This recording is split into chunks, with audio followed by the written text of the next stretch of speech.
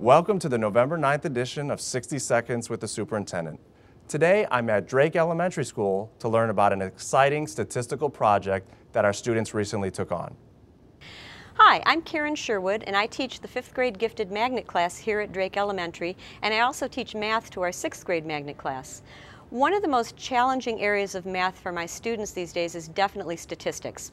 In the past, the most they needed to be able to do was to describe the basic shape of a data set and to compute a few basic statistics like the mean and the median. Now, under the current state standards, they have to work with some very abstract concepts like the mean absolute deviation or the interquartile range of a data set. My challenge is to make these very abstract ideas real and meaningful for 10 and 11 year olds. So I came up with a project for them.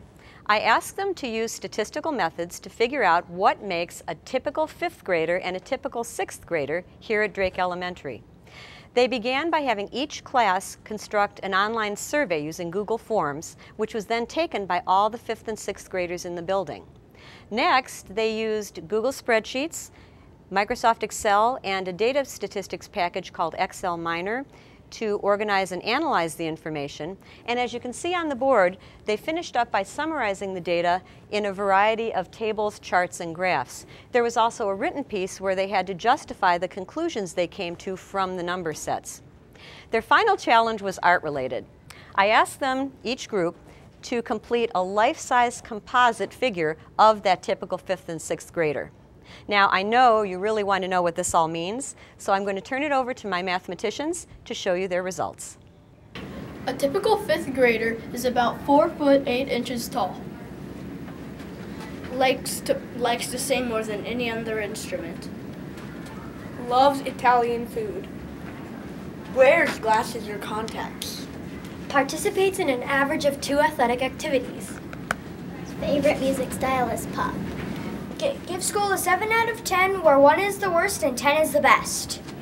Has about 11 to 14 letters in their first and last name. Has an average of two pet pets.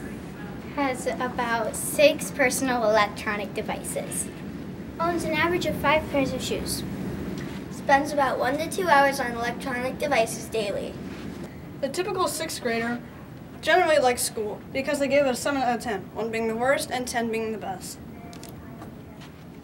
They say their favorite subject is science. Their favorite comfort food is pizza.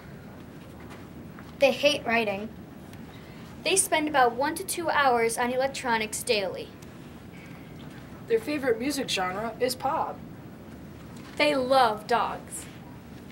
Their favorite site is YouTube. Their favorite clothing brand is Nike. And finally, they take part in about two to three extracurricular activities. Typical are you? I hope you're as impressed with our students as I am. And as always, thanks for watching and go make it a great Mustang week.